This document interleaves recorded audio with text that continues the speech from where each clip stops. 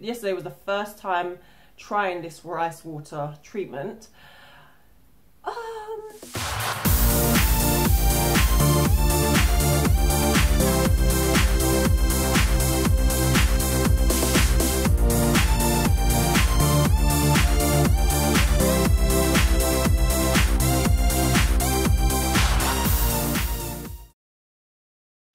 Guys, welcome. This is Miss Lauren 11 and today I'm going to be showing you my fall or autumn wash and go for 2018.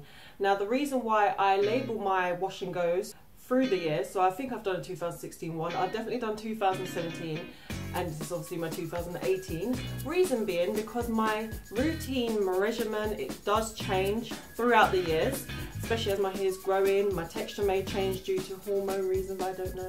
But obviously there are changes. So I'm gonna be showing you what I do this year. Okay guys, first before I go ahead, it is coming up to my two year anniversary of my big chop. So if you would like to see how I got from this to this now, then you can go ahead and subscribe and hit the notification bell because you don't want to miss that video. So first off, I, I didn't video how I washed my hair because I've got so many videos on that, but I'm gonna insert pictures here. So this is what my hair looked like taking it down initially. This is an old wash and go, okay guys? Yeah. And then I'm gonna show you guys, I used something, I'm not jumping on the bandwagon, I just wanted to see. I've used rice water, so I used it in my hair. And before I move on to the next picture, this is what my hair looked like with the rice water in it. Now let me just say guys, um, obviously yesterday was the first time trying this rice water treatment.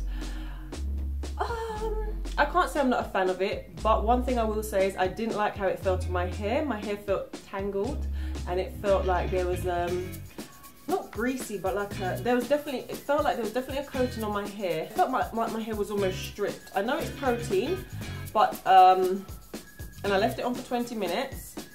But I mean, as soon as I put it on my hair, that's how my hair felt. But once I washed it off, it did feel okay. It wasn't super soft as I've heard some say. But once I conditioned my hair after, which was here, once I conditioned my hair afterwards, my hair felt amazing. It was super soft, absolutely. So this is my day one wash and go. As you can see, my hair is quite flat. It's not full of volume. And this was my last wash and go that I'd done prior, day four here. So it went up to seven days, but this was my day four here. As you can see, it's nice voluminous and what have you. So I will say this guys, in my routine, I do add olive oil to my hair. If you don't want to have flat hair like this, then I would say add less olive oil obviously because it does weigh the hair down. Um, with this wash and go, the last one shown here, I just added the olive oil to my ends. But this, I done it on my scalp and I done it throughout, as you'll see, guys. So if you, as I said, if you don't want this look and you prefer this look, use less olive oil. Okay, guys, carry on watching.